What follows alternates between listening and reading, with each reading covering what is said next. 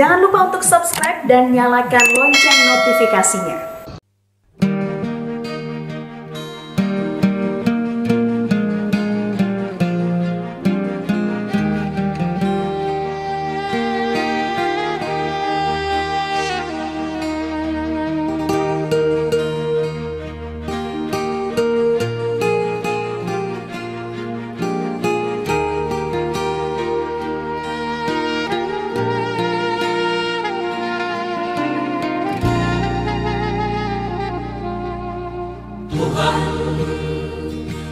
Masihkah mau kau mendengarkan doaku? Dengarkan doaku Tuhan Masih tak gerangan sembahku kau